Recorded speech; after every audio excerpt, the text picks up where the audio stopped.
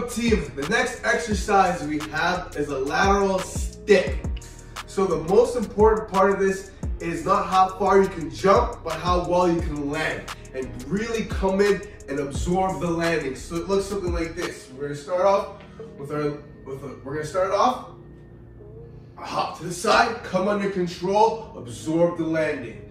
Next to the, come under control, absorb the landing. You don't wanna jump too far where you're gonna fall over. Only go to where you can stick the landing. Come under control. Notice how his bum, ooh, Come under control. bum is pushed back in that hinge position. He's loading his glutes to As stabilize him. better at it, you can start opening it up. Come under control. I'm under control. Now let's see what you got.